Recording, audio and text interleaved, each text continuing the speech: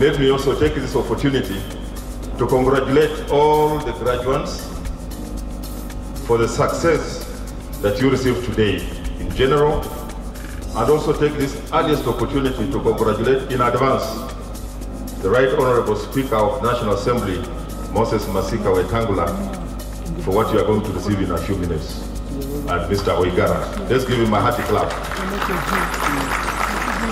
We are happy that the university has started recognizing our own people. This is a practice all over the world.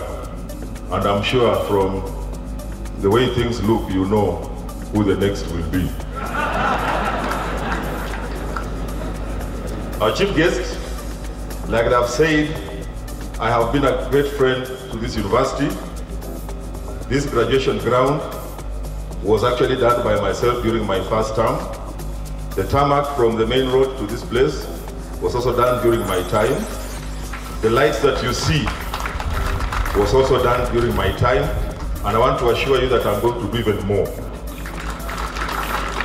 We are going to provide high uh, flag masks to ensure that there is security for our students and the business around this university. We are also going to open the feeder roads around the university. If we don't put tarmac, we shall make them motorable, but I can assure you we shall put tarmac. By the time I finish my term, God willing, this place will look completely different.